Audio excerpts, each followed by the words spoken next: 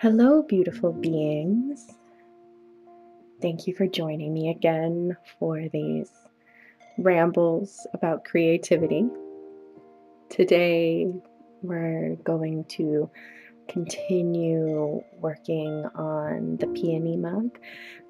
And for some context, in case you haven't seen, these peonies are covered in a material called wax resist um, goes on liquid and dries um, water resistant. And so you can come in and paint over and later brush off anything that um, happened to get on the portion where the wax is. So it creates a lot of opportunity for spontaneity and for painting with a bit more abandon and a bit more liveliness. And that is really the place that I have found in creativity that is the most exciting for me and the most satisfying is this place bef- between deeply intentional and growing skillfulness in executing something beautifully and also making space for and letting go of control in some way, whether that is splashes or brushwork.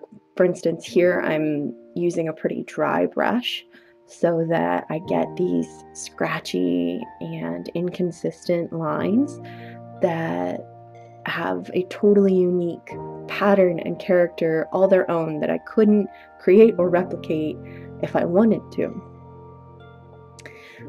And this leads me into another one of the lessons that I've learned in making ceramics over the years, which is that each piece is its own unrepeatable moment in your learning process. It contains all of your wisdom and experience from every piece before it and is the seed for every piece that will come after it.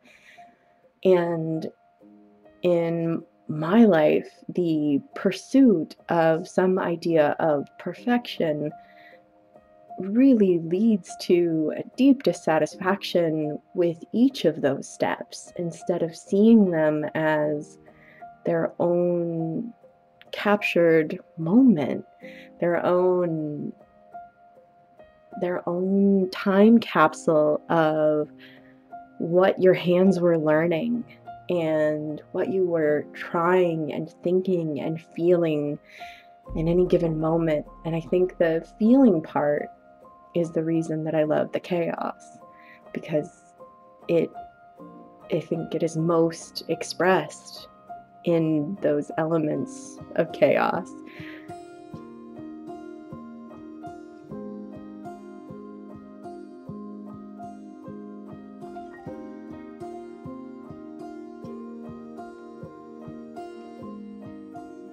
It inspires me so much in the the singular stroke can communicate so much um, in terms of what you were feeling. And the paintbrush is so responsive to that and part of the conversation with you.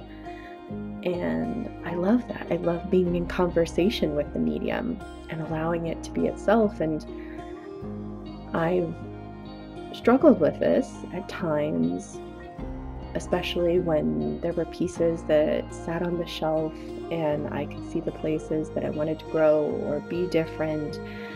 And at one point, I actually tried to be one of those potters that could could throw throw away things, throw away pieces that they thought were imperfect or that people didn't want.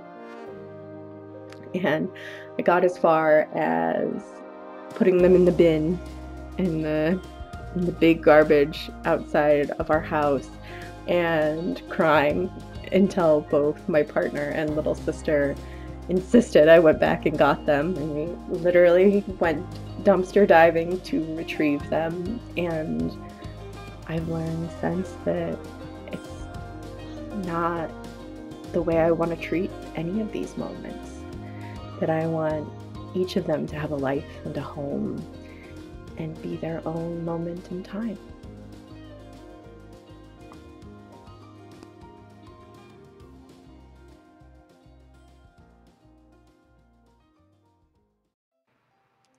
I'd like to share with you the poem that I wrote after that moment. I broke the evidence of rejection. It only broke me further. Made no space, only shards. Made no peace, only scars. I longed for approval that had already been spoken for acceptance that had always been granted. Compliments could not shield me from my own contempt. Now, I am learning the spell to transform the weapon I use against myself into the mirror that reflects the bravery it takes to create, the worth of every idea heeded, the beauty of each step risked. The wonder it is to bring existence to raw form.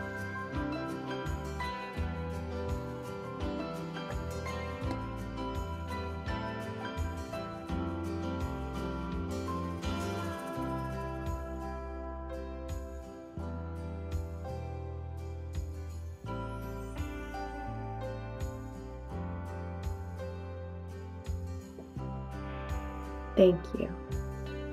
Thank you for being here and being witness to this particular moment, this particular act of giving shape to this ancient medium. You are now always a part of its story.